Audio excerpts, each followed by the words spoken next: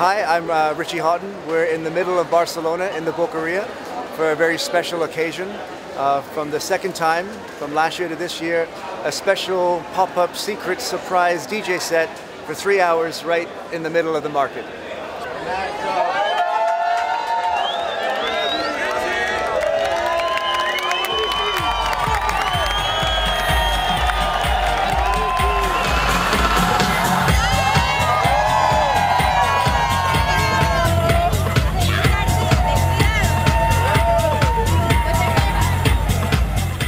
How do I feel playing in a market? It's, it's, it's wonderful. You know, most of the time I'm in nightclubs or festivals, and to play, you know, in a different situation with different people is always is magic. You don't know what's going to happen. Of course, a lot of fr uh, friends and fans come, but sometimes people are shopping, buying their meat, buying their vegetables, and they're coming and saying, "Hey, what's this crazy music?"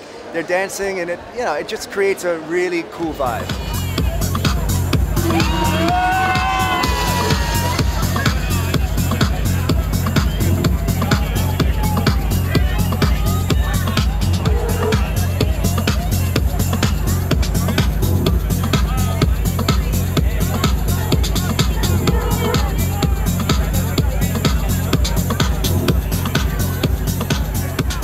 Here in the Boqueria, the, the audience is a mix of everybody. I don't think a lot of people here even know what Sonar is.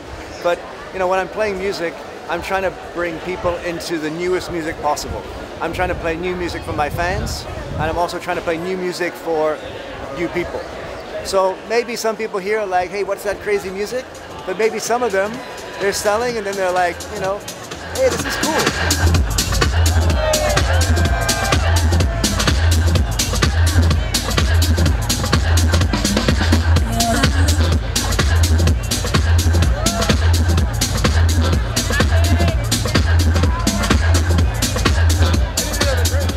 Day, I'm very serious about what I do, but I want to have fun. And doing a party here is unexpected, it's different than a club, and it's a great way to have fun with the people, being really close, you know. At Sonar, I'm like 100 meters from the people. But here, I'm close, I'm connected, and it's all about, you know, the people together.